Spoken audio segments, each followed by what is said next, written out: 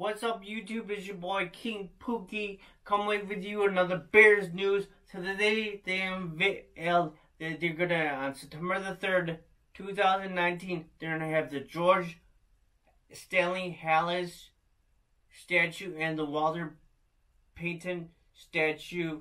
They're um in front of Gate Zero.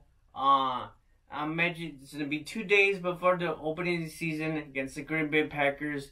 Uh, this statue has been way overdue.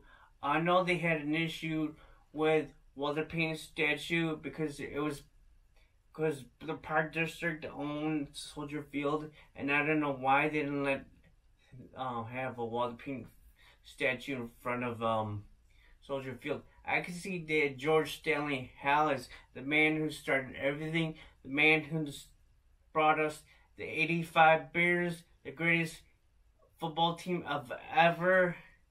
And then, you know, I um I mentioned there's gonna be a lot of alumni. They're gonna be there from the '85 Bears and probably maybe some logos.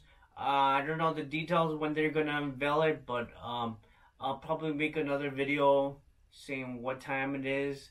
Um, cause they just unveiled it today on the on the Bears app.